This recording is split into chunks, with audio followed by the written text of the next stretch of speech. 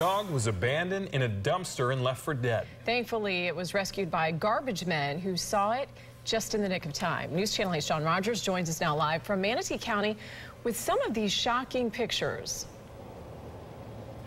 Good evening, guys. An absolutely shocking story indeed. The dog was found in a dumpster behind the speedway off of State Road 64, and I'm told these garbage men were thankful that the lid was open because otherwise this would have been a tragic story. Just before 345 on Monday, a waste management truck arrived at the speedway.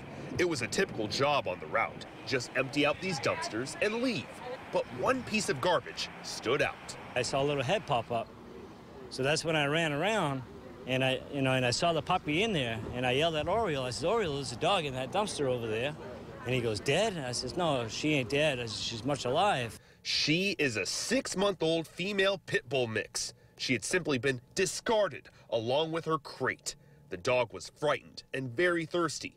The men believe she may have been there for hours. For anyone to do something like that, that's, that's, it's, to me, it's a sin. Because uh, you can do that to a person. You know I mean? You have no, no care for life. The dog did not bark and followed commands. The men could have easily missed her.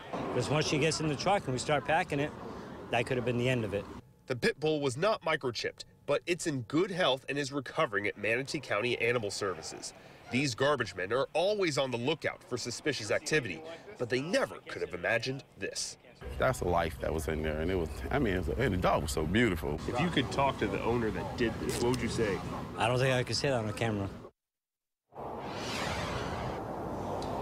Animal abandonment is a crime punishable by a first degree misdemeanor. If you have any information to help in this case, contact Manatee County Animal Services. Live in Manatee County tonight, John Rogers, News Channel 8.